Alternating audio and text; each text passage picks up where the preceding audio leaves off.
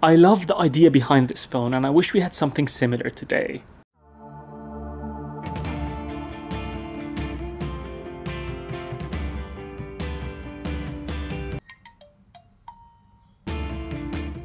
This is the Nokia Asha 503 Dual SIM, the very last Asha device released by Nokia. It was supposed to be a device that bridges the gap between feature phones and smartphones, and it has plenty of cool tricks up its sleeve. And let's start with the unboxing experience.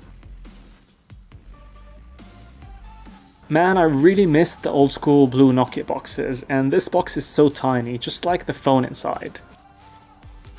So at the top you've got the phone, which is in green here, but of course you can get it in multiple different colors, including yellow, blue, and even red. Under that are the product booklets, a charger, a wired headset, which is red for some reason here, and a charging brick. So the hardware of the Nokia 503 is insanely cool in my opinion. Nokia took their trademark polycarbonate unibody design, put it inside a see-through plastic shell and then fused them together. And voila, you have a phone that looks like it's inside an ice cube. I don't think I've ever seen another phone attempt such a design fusion.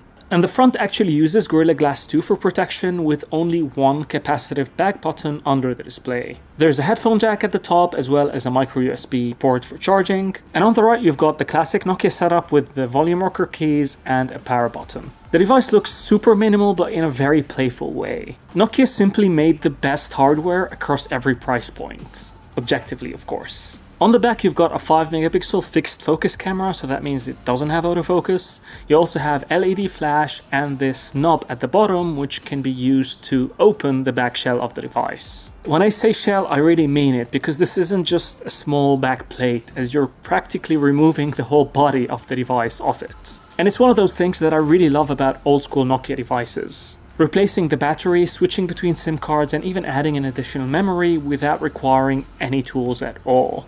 How ingenious is that? And the best part is you wouldn't even know that the back shell was removable because of how cohesive the entire design is. Another clever design element is that the knob also acts as the device's loudspeaker. And honestly, I was so pleasantly surprised by how good the quality of the loudspeaker is in terms of loudness and even clarity. I think it puts most modern budget smartphones to shame really. So let's power the Asha 503 on and now you can see that 3-inch QVGA display in its full glory. Of course I'm kidding as this screen isn't really great by any means, but it does the job. For you number nerds out there, the resolution is at 240 by 320 pixels. The device runs on Nokia's Asha software platform. It's technically not a smartphone operating system, but it has plenty of smart features. And the best part for me personally is that it was greatly inspired by MeeGo Harmattan, the operating system that was found on the best phone of all time, objectively of course the Nokia N9. You can clearly see the inspiration from the icons and the fact that you can use swipe gestures to navigate throughout the UI. And there are also plenty of design elements that are scattered all around that are clearly inspired by MeeGo. So your main home screen is the app grid which you can navigate by scrolling vertically. And then swiping to the right reveals what Nokia calls Fastlane. Here you have all your notifications, your calendar events and your recently opened apps. And to go backwards inside apps, all you have to do is press on the back button that's under the display. But if you want to get out of apps, all you have to do is swipe from the edge of the display to scroll the app away and go back to your home screen. And it actually works incredibly well and it's fairly smooth too. I'm pleasantly surprised by how fast this device is. Did I mention that the Nokia Asha 503 also has glance screen? Well, it does. You can see all the notifications and the time shown in a very low power mode when the display is supposed to be off.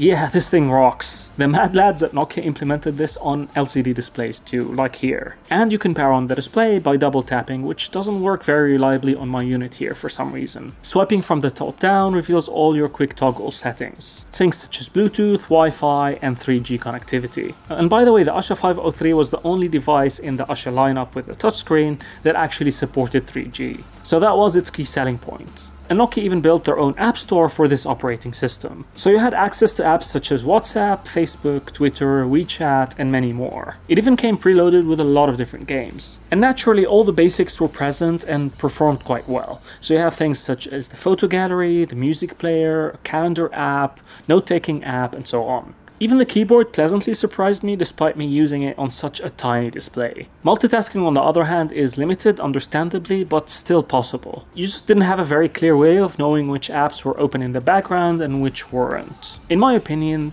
the Nokia Asha 503 is smarter than any KaiOS device that I've recently used. And it's definitely leagues smarter than the S30 Plus platform that we find on Nokia's most recent feature phones. I find it to be the perfect blend between being simple and capable, and I really wish we had something similar to this idea today. The thing I love the most about it though is that it wasn't designed to be addictive like our modern smartphones. It's not trying to suck you in and sell your data to the highest bidder for advertising, just to give you the right tools to make your life easier. And the price of this at launch was around $100, which was a segment that Android absolutely absolutely sucked in back then. This just ran circles around its competitors when it comes to speed and smoothness for its time. Though naturally it isn't exactly the smoothest thing that you'll ever see. Actually I think $100 Android devices that are released today still suck in this specific aspect. Anyway, I want to hear from you. What do you think about the Nokia Asha 503? Do you like the idea of having a phone that slots between feature phones and smartphones? Share your thoughts with me in the comments down below. Thank you guys very much for watching. Please don't forget to share, like, and subscribe to support the channel, and I shall see you in the next one.